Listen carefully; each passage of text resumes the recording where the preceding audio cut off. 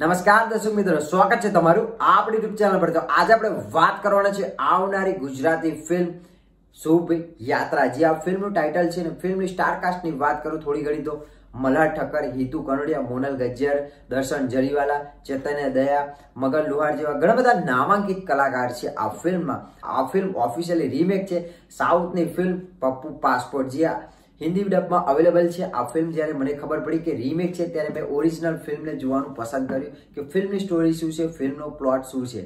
તો એ ફિલ્મની વાત કરું તો એ ફિલ્મમાં તમને વિજય સેતુપતિ જોવા મળશે, સાથે સાથે યોગી બાબુ બી જોવા મળશે. તો ફિલ્મની સ્ટોરી કમર્શિયલ છે, એકદમ નેચર એકદમ નોર્મલ સ્ટોરી છે. બહુ કંઈ હાઈફાઈ નથી, કંઈ બહુ હેવી નથી.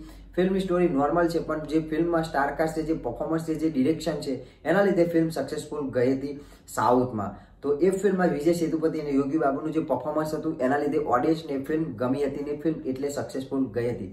તો હવે જોવાનું એ રહેશે કે સાઉથની ફિલ્મો બોલિવૂડમાં રિમેક થાય છે ને ચાલતી નથી કારણ કે ફેરફાર કરે કે ના કરે ફિલ્મો ચાલતી નથી મોસ્ટ ઓફલી અને હવે ગુજરાતી ફિલ્મમાં બી હવે સાઉથની ફિલ્મ સૌ પ્રથમ વાર જોવા મળશે. સાઉથનો ફ્લેવર ગુજરાતી ભાષામાં જોવા મળશે. તો જોવાનું એ રહેશે કે ગુજરાતી ભાષામાં આ ફિલ્મો ચાલે છે કે નહીં.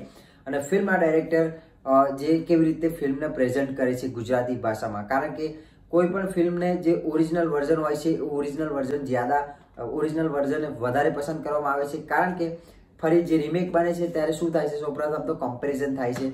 મલા ઠક્કર સાથે કમ્પેરિઝન થશે વિજય સેતુપતિની. તો વિજય સેતુપતિ એક જોરદાર એક્ટર છે મલા ઠાકર બી જોરદાર એક્ટર છે, પણ વિજય સેતુપતિનું લેવલ કંઈક અલગ છે. એમને ઘણા બધા કિરદાર કરેલા છે અલગ અલગ લેંગ્વેજમાં અને આગળ વાત કરું તો સાથે સાથે હિતુ કનોડિયા બી જોવા મળવાના છે આ ફિલ્મમાં. તો જોવાનું એ રહેશે કે હિતુ કનોડિયા કયા રોલમાં ફિટ છે? પેલા શ્રીલંકન હોય છે એના રોલમાં કે પછી જે યોગી બાબુનો રોલ કરે છે એમાં ફિટ છે? કોમેડી કરે છે કે પછી શું કરે છે જોવાનું એ રહેશે. અને ઘણા બધા કેરેક્ટર છે જે ગુજરાતી ફિલ્મની વાત કરું, જે સ્ટાર કાસ્ટ છે એ અંદાજો આવી જાય છે કે આ કેરેક્ટર આ રોલ અવશ્ય કરશે. જો તમે પપ્પુ પાસપોર્ટ ફિલ્મ ના જોઈ હોય તો જોઈ શકો છો, ફ્રીમાં અવેલેબલ છે અને જોઈ છે તો કેવી ફિલ્મ લાગે છે જણાવજો. અને તમે મલ્હાર ઠાકરની આ ફિલ્મ જોવા માટે આતુર છો કે નહીં કોમેન્ટ સેક્શનમાં અવશ્ય જણાવજો. આ ફિલ્મ તમને જોવા મળશે અઠ્યાવીસ એપ્રિલે તમારા નજીકના સિનેમાઘરોમાં. તો આ વીડિયો તમને ગમ્યો હોય તો ચેનલને સબસ્ક્રાઇબ કરી દેજો અને ના ગમ્યો તો ડિસલાઇક કરી શકો છો વિડીયોને. બાકી મળી કંઈક નવા વીડિયો સાથે. જૈન વંદે માતરમ.